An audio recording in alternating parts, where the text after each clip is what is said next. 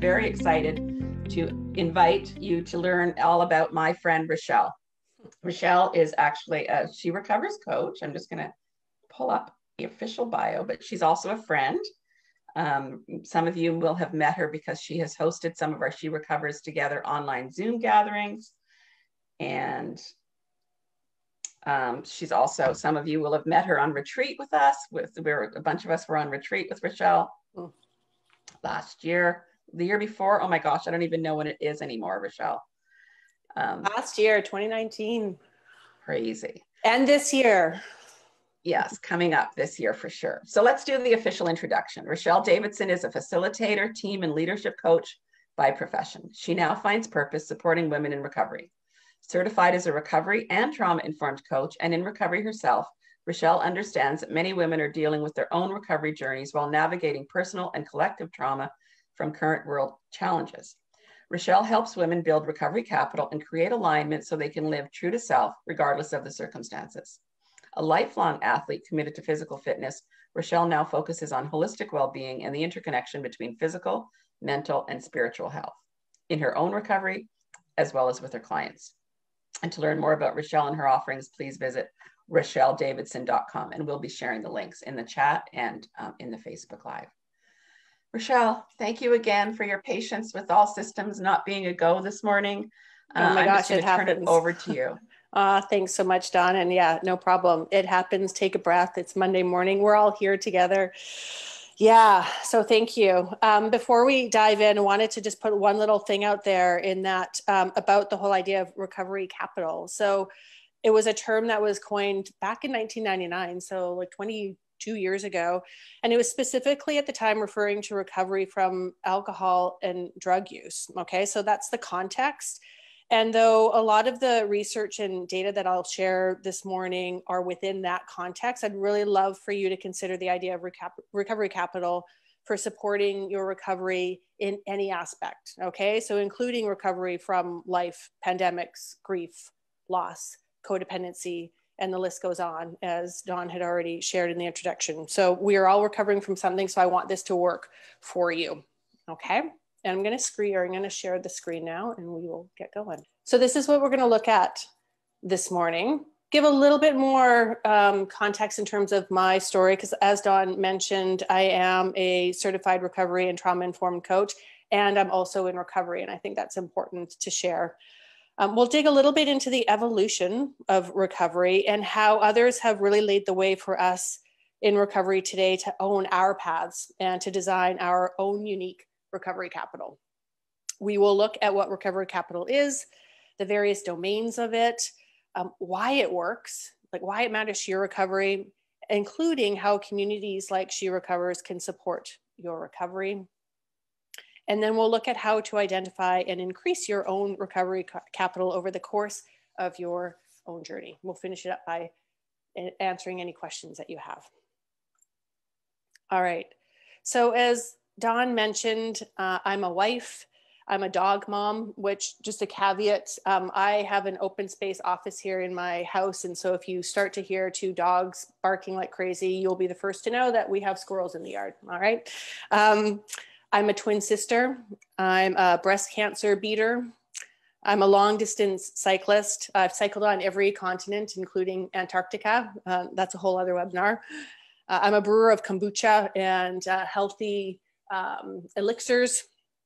I've been a certified professional coach, uh, formerly executive and leadership coach for uh, over 20 years, credentialed with International Coach Federation. I've worked with organizations such as Lululemon, Arc'teryx, Accenture, Deloitte, and I'm in recovery from alcohol use disorder and intergenerational trauma.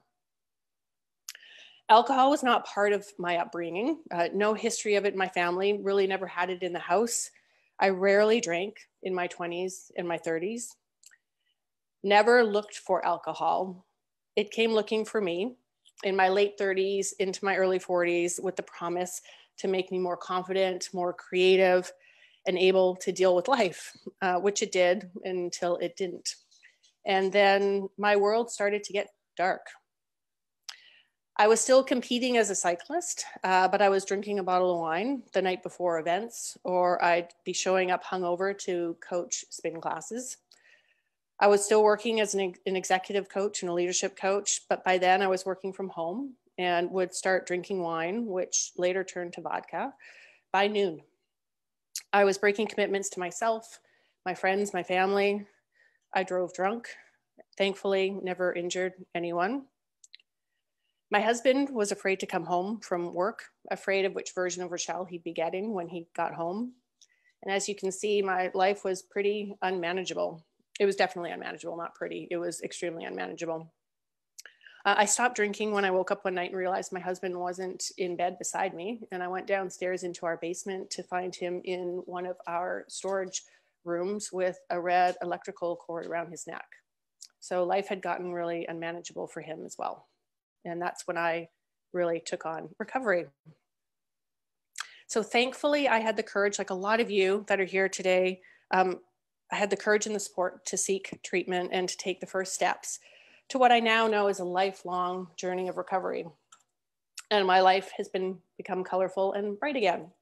So I've shifted my focus from coaching executives and leadership teams to women seeking recovery, vitality, and wellness for themselves. I know from my own experience that addiction and trauma can make us forget who we are. And as a coach, I get to help you remember, which I love. So, my mission now, or what gets me out of bed every morning, besides my two hungry dogs, is the opportunity to embolden and equip women to live fully and freely, free from substances, shame, and stigma, and free to experience healing, joy, and meaning in their lives. And I know that every single day counts. So, why I'm telling you this is um, what led me to this place is the ability to own my recovery journey, to be the author of my story. And I think this is really important um, to, to note. So before we look specifically at what recovery capital is and how you can use it, I want us to look briefly at the realm of recovery and how it's been shifting, which has made room for us to have agency over our paths and to take a strengths-based approach. So there's lots of information on this slide. I don't want you to go through it all. What I'm really wanting you to get from this is that the ability to drive one's own recovery and the idea of multiple pathways of recovery, the level of community and social supports, and the idea of recovering out loud, especially for women, is a fairly new phenomenon. The fact that we can gather like this today and support each other is due to others who have courageously blazed the way in face of stigma and condemnation, which which hasn't, which only recently started to go away. So women have been subject to stigma and shame around addiction for hundreds of years. In a really insightful paper titled American Women and Addiction, a Cultural Double Bind by William White and Jean Kilbourne, who are two real um, uh, trailblazers in terms of recovery and, and where it's come to. Um, we see a paradox filled history of addiction among women with an ever increasing menu of psychoactive drugs, including alcohol, aggressively promoted to women with the promises that these products could deliver physical sedation and emotional anesthesia and help us attain what would otherwise be like extremely unachievable standards of beauty. While at the same time, the women who became addicted to these drugs, again, including alcohol, have faced intense shame and stigma. This has gotten better over the decades, and yet it still exists as a volunteer manager for the She Recovers Together Facebook platform and being witness to most of the posts on there from our 6,000 members, the shame around perception of being weak or a failure from being in addiction is still there. So thank goodness for communities like She Recovers that are continuing to bust through those stigmas. So we've gotten like to, uh, or up to like 11 years ago, we started to expand and look more holistically at recovery in terms of the whole human being and what's needed for recovery. And it's because women like Betty Ford, who opened her senator in 1982, and celebrities like Jane Fonda and Jamie Lee Curtis and Drew Barrymore and others who have had the courage to recover out loud and therefore start to change the narrative that's allowed us to get to this term or this type of um, uh, definition around recovery that it's looking at health, home, purpose, community. And this is from the Substance Abuse and Mental Health Services Administration from 2010. So it's really started to shift. Really looking at it in terms of a holistic human experience. And it led the way to um, the Canadian Center on Substance Use and Addiction in 2015 outlining these principles, which is pretty much where we're at, reflects where we're at today in terms of looking at recovery for both men and women. And these principles are that they are, there are many pathways to recovery, many patchworks, many, many different ways of approaching it, requires collaboration. So you can't just do it alone. We know that recovery is a personal journey toward well-being, and I say like a holistic life it extends beyond the individual. So we'll be talking about the importance of community and social supports. You can't do it alone. It's multidimensional and it does involve everyone.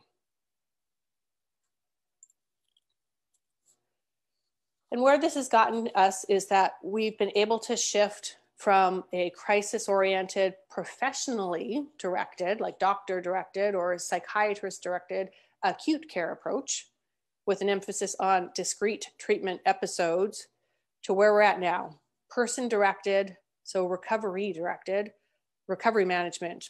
And it provides long term supports, recognizing the very many pathways to health and wellness and a whole life. And what it also now recognizes is that recovery happens mostly after treatment, which was never seen as the case before. So, and the most important role for treatment is to increase participants' recovery capital in preparation for the longer recovery journey in their community. So what's recovery capital?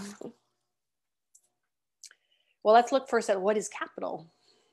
Uh, I'm not professing to be a financial expert, uh, although I did enter university with the intention of becoming an accountant, and I'm super glad that that didn't work out. um, although, in all fairness to any accountants here this morning or today, I am married to one, and he is amazing. So recovery capital is like financial capital. So it's like money in the bank for when opportunities and challenges come up in life as they will, like this morning and technology and so many other things. So if we take a look at it as a metaphor, um, like capital that's invested in your home, you want it for the opportunities and challenges that come up. An opportunity like a new hot tub or a home gym, you have the capital to go and invest in something like that or the challenges like a leak in your basement or your roof needs fixing, those types of things. It's the same with your recovery capital. You want it for the opportunities and challenges that arise in your life. An opportunity such as you get invited to go on a Mexican vacation, and we will one day get to do that.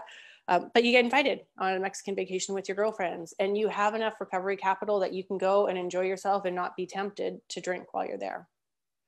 Or the challenges that come up in your life, like a job loss or a breakup or any number of things that you have enough recovery capital banked that that doesn't throw you off and throw you into relapse. So specifically, recovery capital. It's your combination of personal, interpersonal, and community resources that you can draw on to help initiate and then sustain your recovery. And again, although this is focused on substance addiction, I want you to be able to apply this to anything that you're in recovery for because it does apply. So again, recovery capital, it's like economic capital. It's measured in surplus. So you want to be able to bank it, have it there for when you need it. It's going to look different for each one of us.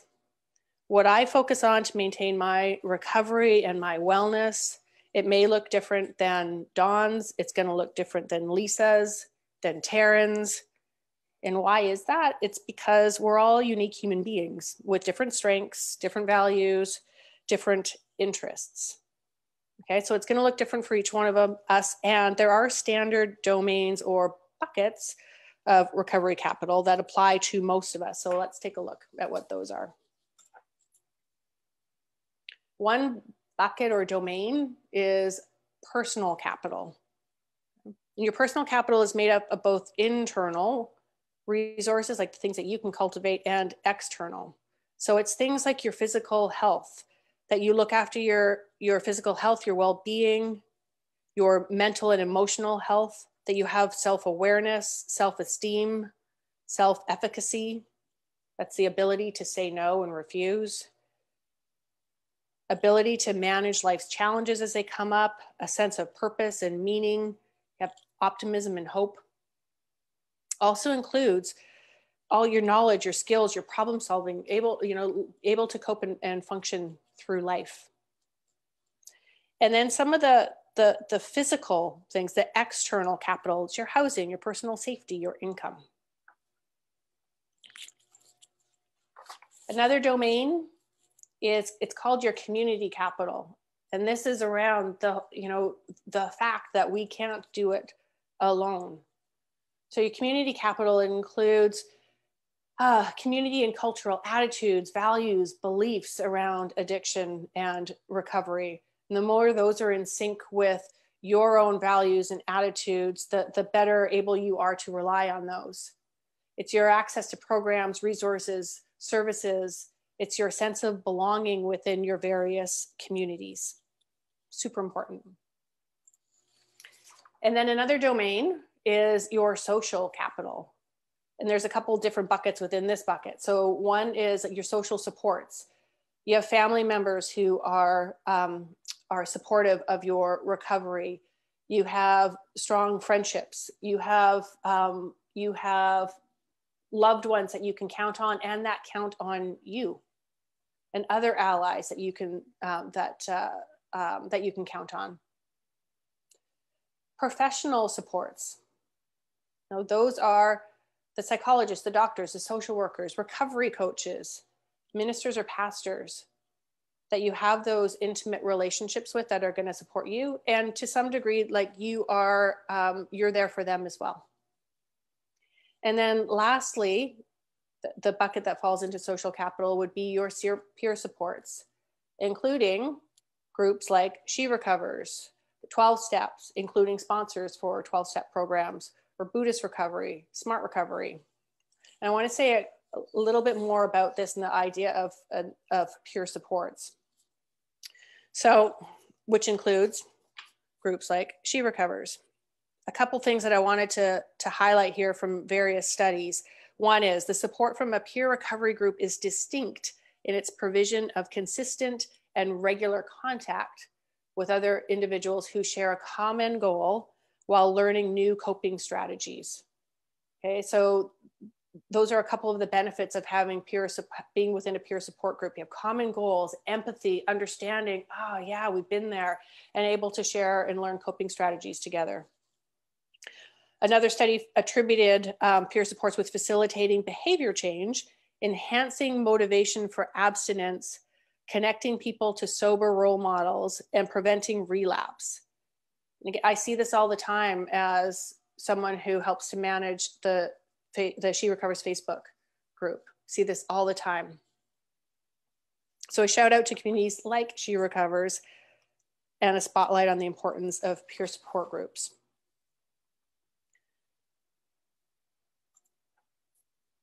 So why is all this important? Why are we looking at, at uh, recovery capital in the different domains?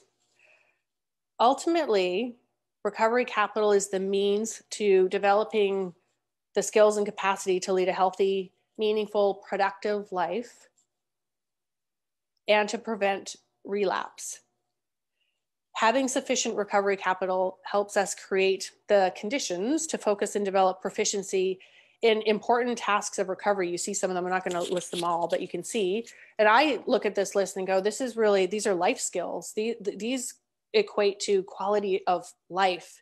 It goes beyond recovery to creating the conditions to be a, a well, holistic, healthy human being. So, being a functioning human being. We saw some of this in a study, or before we go there, ultimately, all of this, these tasks of recovery they want to, or they're there to help us with two things in recovery. One, increased self efficacy. So that's the confidence in your ability to refuse alcohol or whatever substance or whatever behaviors in the face of adversity or relapse triggers. It's having that confidence. Yeah. So the computer wasn't working this morning, but I got it. I'm calm. I can, I'm able to maintain my, my ground, stay grounded, stay centered, and not feel the urge or give in to any cravings that I might have. So that's self efficacy, being able to count on yourself to refuse. And then the other one basically that we want is we want to be able to increase our self concept, the beliefs about ourselves and our abilities. And for those of us in recovery, this is a big deal because in our uh, in our active addiction, a lot of us, or I speak for myself, I lost trust in myself because I had made so many um, uh, promises to myself to stop drinking, that I wouldn't do this, that I, you know, that that I that this would be my last day, and I would break my promise to myself, and I would break promises to so many other people. But so I started to lose trust in myself. So a lot of what we're doing here and, and, using our recovery capital and building up those life skills is so that we increase our um, trust in ourselves. So we are able to count on each, uh, count on ourselves again. It's building up that self integrity, which increases our self concept and allows us to then go into life going, okay, I got this, I can do this. So those are two things that are really important in the realm of recovery capital and what we're wanting to achieve from it.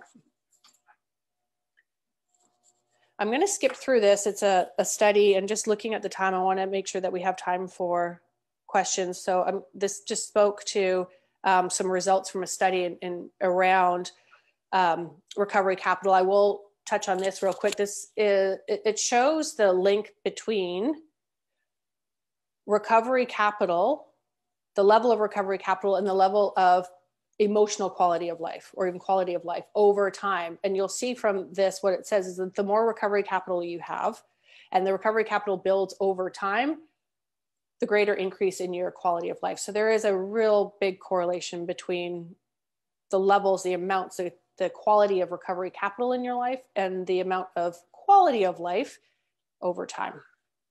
This also just goes into the various things that tend to be more important during recovery stages so we'll get into like that the recovery capital changes over time because different things are important for you during your recovery.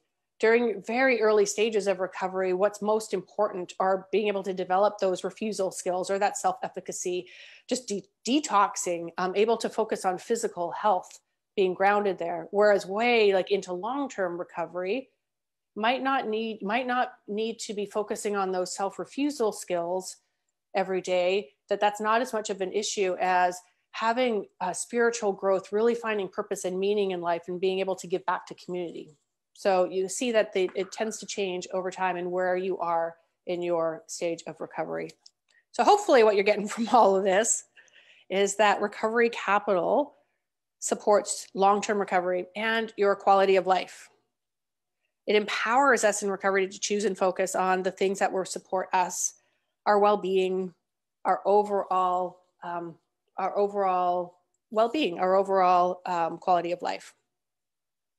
And we really do need to focus our attention on recovery. I was listening to a really great podcast last week with Pedram Shojai. He's the author of Urban Monk. He's a um, doctor of, of Eastern medicine. He was a doctor of primary care in the US. Um, and what he said is that we're in an attention economy. Attention economy. So many things are competing for our attention, like social media, other media, apps, Netflix, Amazon. They're all gaming for our attention. It's, and those things are all outside of really what we say is most important for us.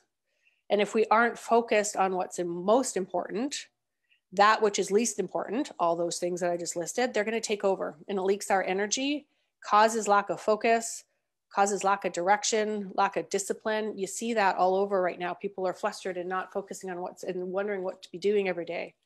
It's time for us to focus. In Chinese medicine, the nature of attention, based on the word shen or mind, says that our energy or qi follows the mind. So, in other words, our energy focuses or energy follows what we're focusing on. So are we focusing on the right things? And thankfully, Recovery Capital helps bring focus to what's most important to us if we're paying attention to it. And that then allows space for and the creation of joy. Because here's the thing we only have so many heartbeats in our lifetime. We don't know how many. And as humans, we're meant to experience joy. As a coach, I get to work with women and building up their personal recovery capital and therefore reintroducing joy into their lives, which I love. And so, in that way, I like to say that I'm a joy breaker, joy broker, not breaker. Hopefully, I'm not a breaker. I get to be a joy broker.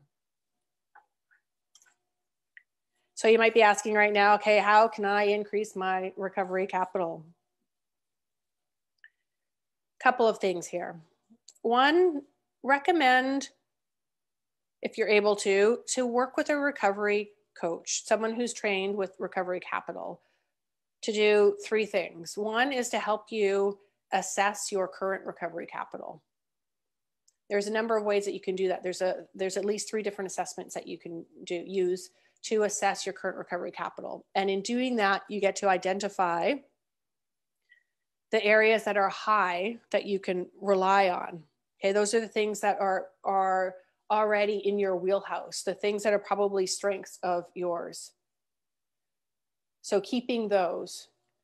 You also want to be able to identify the areas that are low that you might be able to build up. And then be able to prioritize and select a few, focusing on one or two new different areas or realms at one time. All right, so identifying where your current status is, what you want to be working on. And then from there, step two would be to define and, and complete specific goals and tasks that are going to support you. Why we say focusing on just one or two new behaviors or actions at a time is that's really all we can focus on and and realistically be um, successful at if we try and take on too many new things at one time i don't know if you've done it before but i've tried to do before taking on oh, i've got like five goals for this first quarter and it doesn't tend to work we only have so much um, sponge space to be able to take on new things so looking at what's going to be what's going to have the biggest impact for my recovery taking on those one or two things at a time taking them on with vigor for one to six months, one to three months, and then reevaluate. So that's that third step, reassessing regularly every one to three months. How are those, how are those new areas going? Are they improving? How's your overall recovery capital growing? How's your overall recovery experience for you? What do you need to focus on next? And as I mentioned earlier, your recovery capital is going to look different as you go along your journey.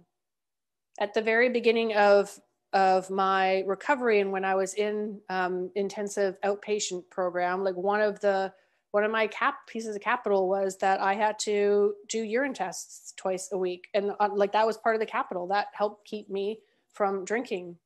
That's no longer part of my recovery capital. It's not necessary for me now. What's really necessary for me right now there's a number of things but one is that i am able to support and give back to the recovery community which i never would have had the capacity to do at the very beginning so it shifts and that's why we want to be reassessing regularly every one to three months okay what's most important right now what's going on for me now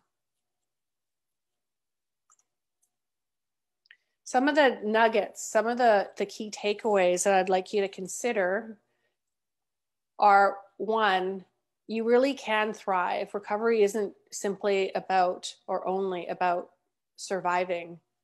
And how you thrive is that you get to own your recovery journey. So you have agency over what you focus on, okay, what it means for you. This is strengths based, meaning that you get to focus on what's present in your life that's working and identifying the other aspects that will work for you. There's no shoulds in creating a recovery capital plan. You should do this, you shouldn't do this. It's looking at really what is going to work for you. something I hope that you got out of this is that community and social supports are crucial for, I would say, initial and sustained recovery. We're not meant to do it alone, and we don't have to do it alone. We are stronger together. And there's just so much now because so many before us have had the courage to recover out loud. There is just so much more out there for us. Your recovery capital, like I said, is going to change over time. Over the course, of your recovery, it evolves just like you, it transforms just like you. And lastly, what you focus on affects your quality of life. So that's back to the idea of thriving. What are you going to focus your attention on? Want to wrap up um, just by again, I want to share that this ha- doesn't have to be hard. It it it it doesn't have to be um, yeah it's not something that you do in addition to your life. This is part of your life. It's how you live your life. And um, the more that you take that on as as something that um, you are doing for you like glennon doyle says you know that you're doing it so you can care for yourself fiercely the, the more you're going to um, enjoy it and find freedom in it and that's ultimately what I wish for you. And that's what it's given me. It's, it's freedom to live my life. And there we go. That's what I've got. I'm going to stop sharing now. And I think we're going to open it up for some questions. Oh, thank you so much, Rochelle. That was amazing. I love the topic of recovery capital and have enjoyed the recovery capital conferences here on the West Coast the last several years. Um, so, so much there, so much from uh, to talk about the material. But first, I, two things. I want to thank you. Um, thank you so much for sharing your story. It's it's a really important story. It's very personal to you, I know, and to your family, and it just, um, I mean, it just it just totally touched my heart when I, the first time I heard it, and every time since. So, thank you for your courage recovering to recover out loud and to share those those moments. Um, also, I want to apologize when I got into the official bio because I was still a little bit flustered from the tech issues.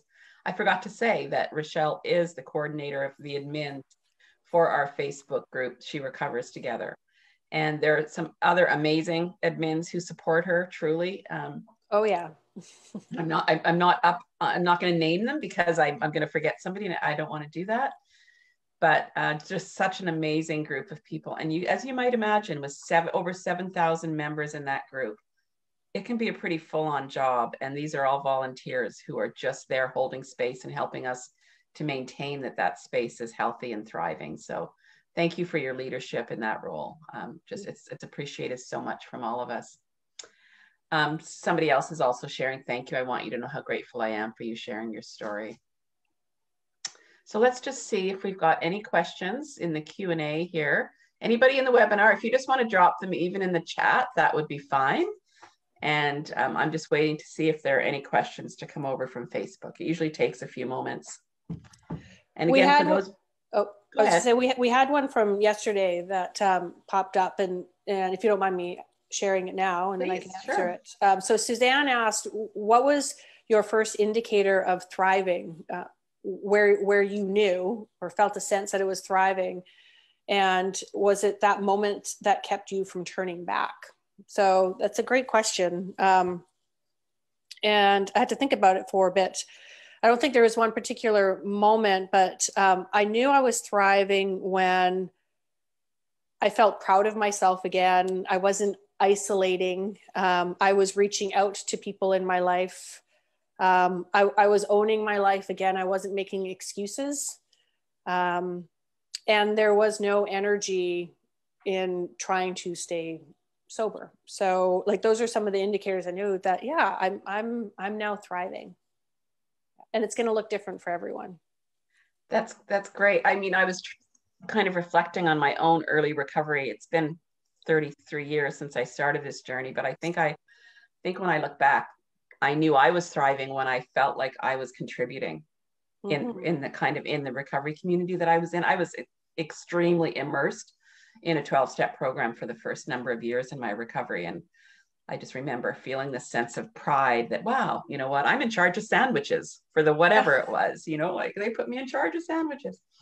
um, and just to be able to kind of or you know when somebody first starts to ask you questions about how you've done something or how did you stop using drugs or how did you get out of that that unhealthy relationship or mm-hmm. how did you manage to stop being a workaholic? It's i mean those are moments where i feel like okay I, I must have something here. I've built something up here. I'm i'm kind of thriving in this community so. Yeah. I also somebody said um, susan kurtz interested in learning more about the different phases of recovery I'll let you go first if you'd like, and then I've always got my own ideas. Yeah, I'm just trying to get to. Do, do, do, yeah, okay, sure. Um, so from all from all of my reading and, and my research, I mean, there um, there's different vocabulary or terminology for it, and one I've got here that I've been using that I can share. Um, uh, so the recovery stages are uh, initiation, early abstinence, maintenance, and long-term recovery. And again, like different different doctors and different and different groups will um, define it differently, but those are you know four that make sense to me. And they're based on not just time, but it's also like how what you're experiencing um, yourself in the in the um, in your life. So initiation, it's from pre-contemplation. So that's oh maybe I think I should stop, but I'm not really committed yet. Into action, commitment, um, admitting, and that includes like starting detoxification, early stabilization. So, so just getting yourself off of um, off of your drug or alcohol, and learning simple refusal skills. So that's right at the very beginning. Early abstinence can be defined as around the first 90 days. Again, it's going to differ for everyone. It's completion of detox or, or stabilization, starting um, beginning of emotional thawing. Okay, so starting to feel emotions, get familiar again with emotions, early non chemical coping skills, reintegration with family, developing community peer support network. And this early, the first 90 days can be the toughest, okay? Because your brain is still addicted to whatever it was that you were addicted to. So it can be the toughest. Maintenance 90 days to five years, or sometimes the maintenance can go on indefinitely. Uh, that's, you know, continuing to, to hone your relapse prevention skills, focusing on healthy lifestyle, exercise, nutrition. Then long term recovery, you know that could be five years plus it, it's going to look different again. That is um, you know it, it's not every day that you're um, you're thinking about uh, self refusal it's more around mentoring volunteering you know contributing making those sandwiches spiritual growth and leadership. Yeah. So you can see like it it, it shifts yeah i really i loved the slide actually where you talked about the different stages i think you know i, I feel very similarly that those are the stages and of course, those stages of recovery are built very off the back of the stages of change model, which some yes. of you may or may not be familiar with, which is this theory. It's, it's um, trans theoretical theory of change. And it basically says that, you know, we are where we are when it comes to change. And so uh, we might be in a pre-contemplative stage, which means like we don't really, we're in denial. We, you know, in recovery, we call it denial. We're not actually recognizing there's a problem. So we will, and then we will contemplate it and we'll think, you know what, I do have a problem. And we'll think about it for a while, but we won't really do anything about it. Um, and then we start moving in this preparation. We start getting ready. Well, I'm, you know, I'm gonna, I'm gonna quit, or I'm gonna leave this relationship, or I'm gonna stop working so hard down the road. And then we move into action and we actually start doing the thing that we want to change. We start changing the behavior and then after that we end up in a place where we're we, we're able to maintain that hopefully and sometimes we spiral back and we go back to you know i'm not sure i really have a problem or where maybe i want to think about how i want to do this what i love and for those of you who are familiar with our youtube channel if you want to go on there there's a beautiful presentation by kathy robbins one of our other amazing she recovers coach that she did specifically on um, the stages of change. And what she's introduced is this idea that after we get to maintenance, where we stay for a while, you know, like maintenance means we're we've kind of we're pretty solid in our recovery. That the next stage should be celebration, and so that we should celebrate this. And and I think that for a lot of women in our community who are in long-term recovery, we're here because we want to celebrate with people who don't know yet. We want to show you that as hard as it is, and you know, there's no disregarding how difficult it is to make significant changes in your life. But that if you stick with it, you will get to a place where you just love your life. Like you, you won't be able to contain your joy at times, and, and life will still be hard, and we'll yes. still lose people, and we'll still get ill, and we'll still have losses in our life. But when it comes to our own kind of self development and our place and how we feel about our recovery from whatever it is that we're recovering, we will be joyful about that and celebrate it. And we'll want other people to celebrate it too. Mm-hmm. Um, so I've a couple of questions. Beth shared, um, she actually said that she's she's done pretty well at, um, oh, sorry, about connecting virtually, um, but she's not done so, of course, in person because of the pandemic. And she says, any suggestions? And I just asked if she was in our SRT group. And for anybody who is not in our She Recovers Together group, if you join it, I mean, it's just very, very spontaneous. But I saw just the other day, I saw somebody in San Diego say, Hey, I want to get together for coffee. And before you knew it, there was, you know, outdoors for coffee. There was this thread of about eight or 10 women who wanted to see if they can't connect and go for a socially distanced walk or coffee. Um, we do have other groups that are on She Recovers Together, sharing circle groups. Um, Rochelle is actually leading one on Zoom right now in Vancouver. I lead one here in Victoria. And what we're moving towards and what everybody in our community will hear, will hear about more over the next several weeks is we're going to move to kind of a, a more regional model so that if you are in British Columbia, we'll have one group for everybody in British Columbia. If you're in Ontario, these are Canadian regions, the same. If you're in the Northwest, you Washington State, Oregon, Montana, Idaho, or Wyoming, you'll be in the Northwest. And in the Northeast, I think that we're starting with the New England. And then we'll have, you know, every region of North America will be covered off with a She Recovers Together region. And the idea there is just to have a bigger catchment area um, so that people have can, can connect to a region of She Recovers and then still, you know, go for walks locally, have other things happen locally. But so for anybody who's looking to connect, um, when we're allowed to connect safely out of outdoors, of course, I think it, just stick with us. We've got some other things going on. We've got right now, we've got a Google spreadsheet. We've got a new form we're going to be introducing where people can just put, if you want to meet other people in your area, you put your name and where you're from, and then you'll be able to see and sort through um, who else might be in your area. But um, I would say the She Recovers Together Facebook group is really the best place to make connections with people in your in your kind of um, in-person area. Somebody else had a great question here. Let me just see what I can do. Um, what did you replace in your case, Rochelle, alcohol with in the beginning? Did you have to replace it with something? Um, I didn't have to replace it with like as in a, a different kind of beverage. No. Um, um, I started drinking more kombucha, which is a non-alcoholic fermented drink that is very good for digestion and immune system. I, I now brew it. Um, so, but I wouldn't say I, I, replaced it with that. What I did replace w- were um, my my ritual. So I would have a ritual of making dinner and having a glass of wine, which would turn into two, which would turn into three. Um, so I just started shifting those the the rituals. So taking the you know t- taking the the drink right out of it. And instead of of picking up a glass and drinking while i was making dinner i would do like a sudoku or a crossword puzzle. So that would keep me going as well. So just completely changing the patterns. Um, instead of you know friday night um, you know having wine and watching um, you know my favorite tv show i would go for a walk instead. Or you know we've started i started painting rocks. Um, so just completely replacing the behaviors with something else creating new rituals. Great. And again you know we see a lot of women in our community talk about one of the new rituals that they're engaging in in their early recovery is connecting with our zoom gatherings. Mm-hmm. You know, and for you know many people, it's kind of it's in the evening or it's even in the, their witching hour, and so instead of doing what they would normally do, they they get online and and you know listen to absolutely. 80, 90, 100 other women talk about what's going on for them in that moment.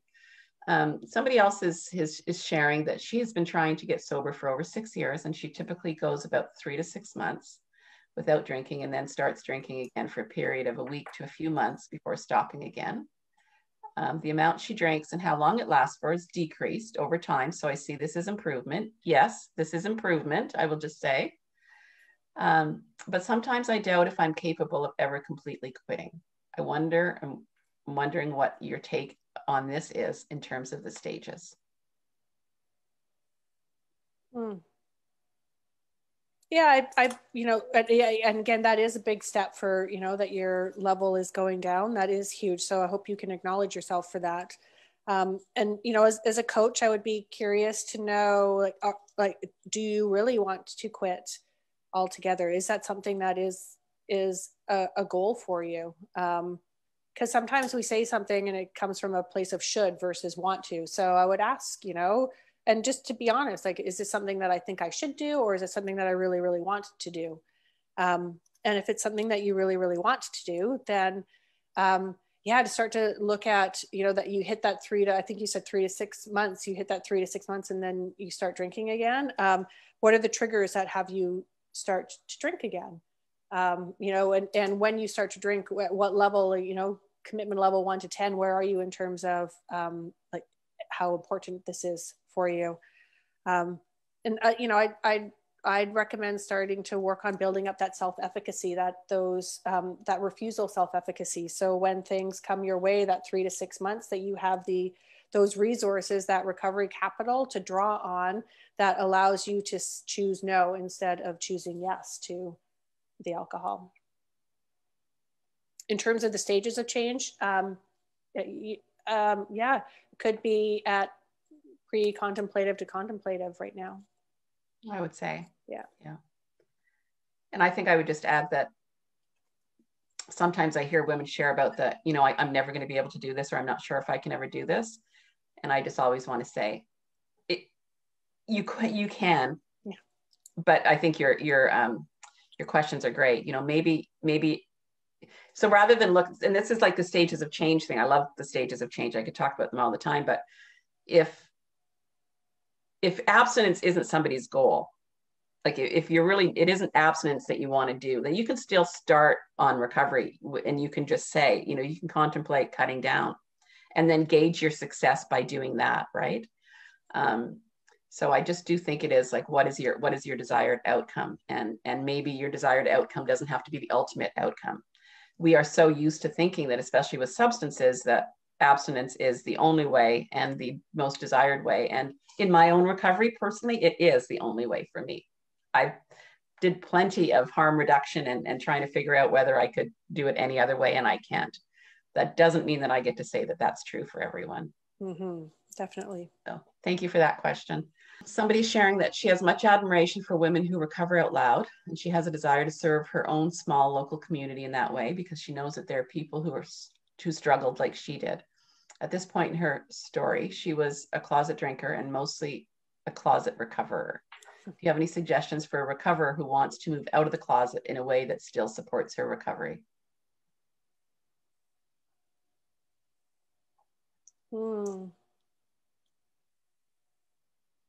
Well, congratulations for being on your journey and, and for, you know, wanting to step your toes out of the, the recovery closet. I love that. I like, I don't, I don't know. I think it's just, you know, having finding what works for you um, you know starting to recover out loud with those that you trust the most that have your back that um, you know are there for you um, you know so you have that you know that you're going to be accepted and loved um, and start to go from there like build your confidence from there i, I you know I, I, you know I, I, didn't jump from the rooftops and like hey um, like i i you know, and I'm still selective with who I share my story with. Um, you know, I, you know, I, I, share it with people that I, I know um, have my back and um, where I'm going to be accepted. So for for you to, you know, and you know who those people are, and um, you know, start to to do that. And and if you're wanting to, you know, practice recovering out loud, she recovers is like the the place to do it in so many ways. Um, Thanks, Rochelle. I would suggest as well, maybe think about if, is there somebody in your small local community who you can let know that you're in recovery should anybody need to talk to somebody about recovery, like mm. maybe a, a physician or a social worker or kind of some somebody that's in the helping profession who might on a regular basis run into women who are struggling and if you know if you give that person permission for that person struggling to reach out to you. That might be a way of just kind of putting yourself out there a little bit in the community without actually having to do a, a parade or an announcement or or whatever it is that you might want to do. But um, you know, our our intention reads very specifically when we are ready we recover out loud so that women who are struggling can find and join our movement and and that when we are ready. Um, and i think you know it's like a stage of change. You're ready to start thinking about how you're going to do this and there's no there's no deadline on it. You can do it as you feel comfortable. Yep. Okay here's a great question. And just so you know we are going over because we were late getting on. How do we know when we are allowed to celebrate? In other words what do we do with that voice that says relapse can always happen beware oh i love that for me it's a both and hey, I'm celebrating and acknowledging where I'm at today and who I am today. And yes, I know that that relapse is a possibility. I just hold on to both, and it's it's actually a very helpful tension for me to have. That that it's not. I can celebrate, and and that allows me to uh, be here today, doing what I'm doing. It allows me to um, to contribute and to coach, and to um, and to have joy in my life. And it also holds me accountable. I can't ever get lazy or complacent or you know let that recovery capital go down because i know it's always a possibility. So i very much appreciate the and of it if that makes sense yeah i think i love that rochelle and and i think i i agree um how i would what i would say about this is uh, over time, like over time, I, I don't, you know, I remain the way I, the way I recover changes. So I guess I would say that I'm, I've been allowed to celebrate for quite a long time now.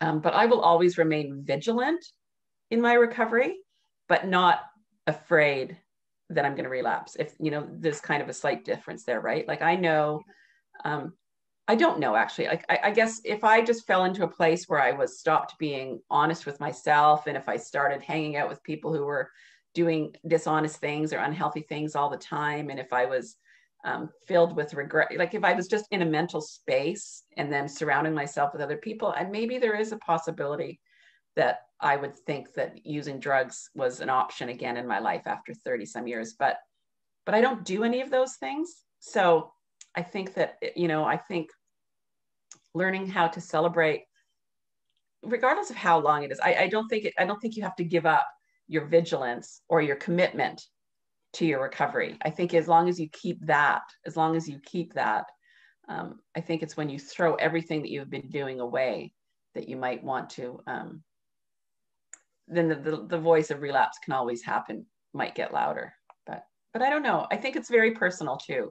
If you're a person who um, and I know there are a lot of people who in 12 step programs in particular kind of they have a fear and some say a healthy fear of relapse and that's what keeps them propelled going forward. And if that's what's working for you that's who am i to say that that you can't you know you can't have that healthy fear? Um, we don't tell people how to recover so great questions okay um,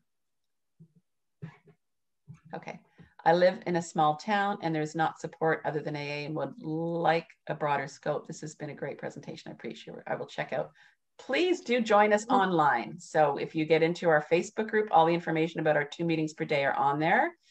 And um, yeah, I mean, we have a lot of women who are in 12 step recovery and who are not. And we, as I said at the beginning, you know, we support all pathways and we criticize none.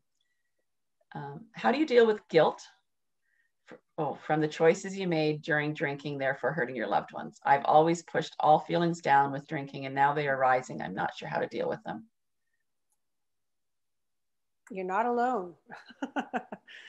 um, yeah, for me, how I, I dealt with the, the guilt and, and shame of my behaviors and how I had treated people and let them down was um, to have the the courage to um, to make amends, to ask forgiveness, um, because you know the what I done was already out there. There's no taking it back, and um, to get complete with myself and, and with the people in my life that mean so much to me that I'd hurt. Um, it was it was really about asking for forgiveness, and you know, in every single case, that's all they wanted as well.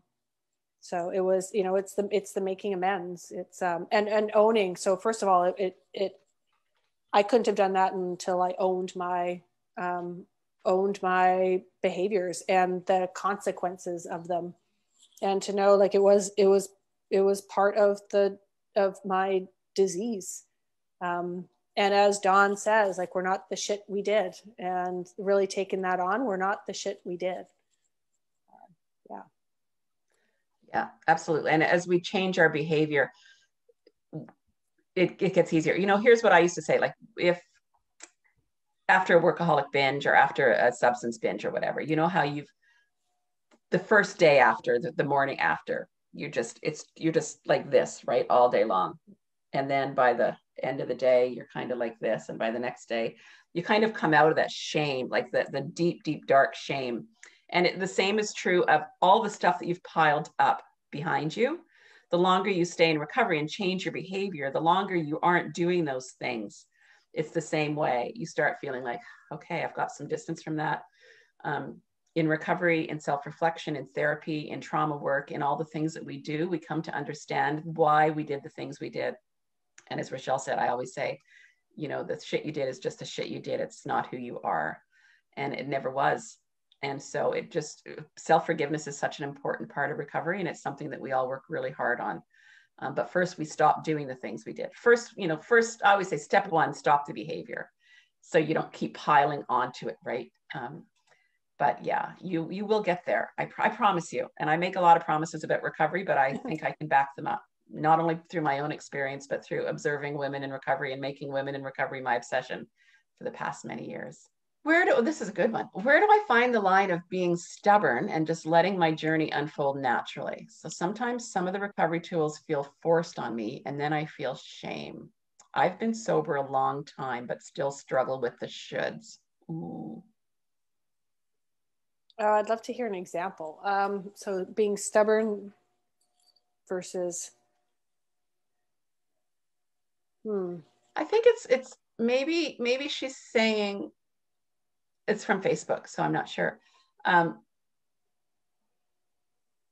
so I would say if some of the recoveries, maybe somebody's trying to, maybe maybe it's like a 12 step thing. Like when do you just let your journey unfold and do what feels right for you mm. versus being told what to do. And I don't mean that that's just 12 step, but maybe somebody's telling you in your family, you need to do this and you need to do that. And you're feeling like, yeah, I don't know that I need to do that. Hmm. There's two answers to that question. There's two answers. Well, one, yeah, I mean, yeah. As a coach, sometimes like I would say, well, go try it on and see if it works for you. And you know you might surprise yourself and go oh okay yeah it does actually work for me. Or you might try it on and go oh yeah no it doesn't. And then it's not even a should. You're able to to set a boundary and go yeah i tried this and it, and it didn't it didn't work.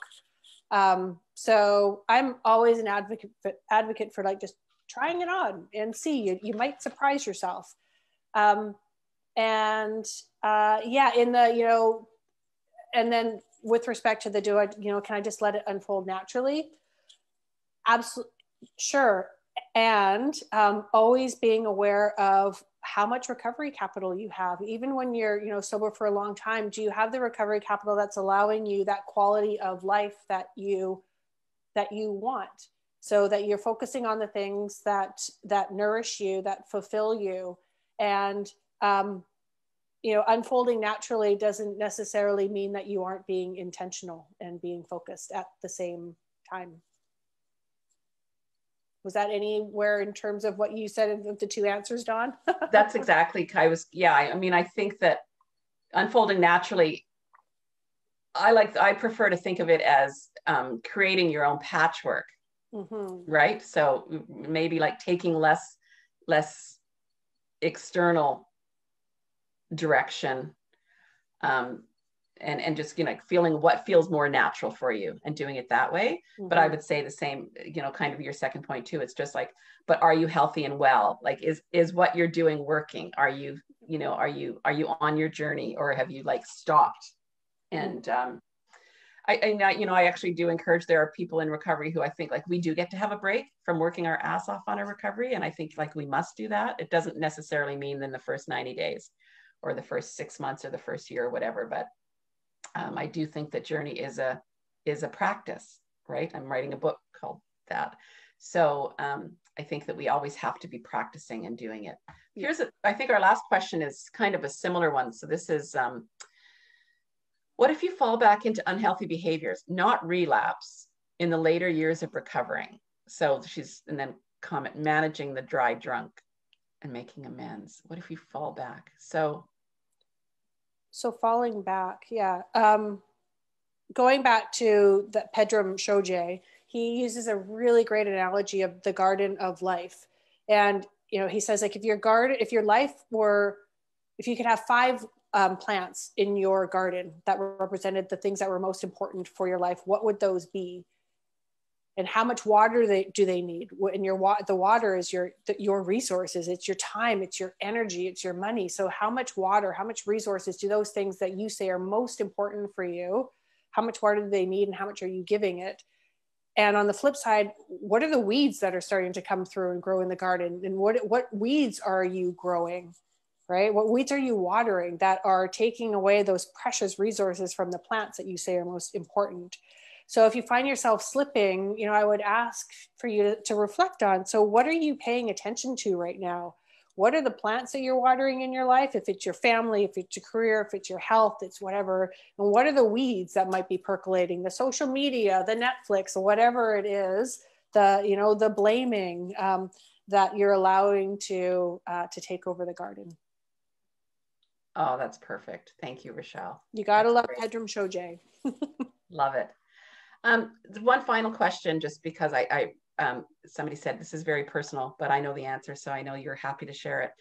Um, somebody asked, "Is your husband okay?" I don't think oh, you you kind of yeah. turned didn't quite finalize that part of the story. He's he is very well. Thank you. Thank you for asking. Yes, it was. Uh, uh, yeah, it was a turning point for both of us. Thank you. Wonderful. Awesome. Well, I just really want to thank you, Rochelle. It was an incredible, incredible um, presentation, and thank you for for doing it with us. And um, for those of you who haven't met Rochelle, you can meet her. I, she hosts. I don't know when you're hosting again. Thursday, 9 a.m. Pacific time. Wonderful. So you can meet her there. Um, we've also shared her um, website, so you can consult with. You can kind of check in with her if you're interested in learning more about any of her coaching programs or services. And um, yeah, I just really and if I can just sorry if I can just add yeah. one thing, if, if, you're interested in doing an assessment of your own recovery capital, I, I'd mentioned that there's a number of different tools. Just drop me a line through my website, and I'll connect you with that. Wonderful. Great. Well, it's a great topic, and I appreciate you bringing it to us today and laying it out there in a way that's really easy to grasp and understand. And um, so, thank you. My pleasure. And for everybody else who's been here, thank you for thank you to Lisa and Taryn on the back end. Um, everyone's just saying how wonderful this was, how fabulous you are, and how empowering this was. So, thanks again. Wonderful. And for the rest of you, please know that we do have two meetings a day. We'd love to have you there. Just join us in our Facebook group to get information, or you can go online to She Recovers Together online on our Facebook. You might be able to get through us to us through that way. Um, what else do I want to say? Just that next Monday, I darn it, I don't know what we're talking about next Monday. I always need to be able to know. But we are here every Monday, normally at 9 a.m. Pacific, noon on the nose. We were late this morning because of my computer not waking up. Um, and we also have Taryn, my daughter and co founder of She Recovers, teaches in this time slot, She Recovers Trauma Informed Yoga. Um, on its on a different link, but in this time it's also free. And on Sundays at 11 a.m. Pacific, 2 p.m. Eastern, Peyton leads She Recovers Dance. So um, please do visit our website. And if you are inclined to um, make a donation, we are a nonprofit charity and every dollar helps. So thank you very much, everybody. And Rochelle, thanks again. Thank you.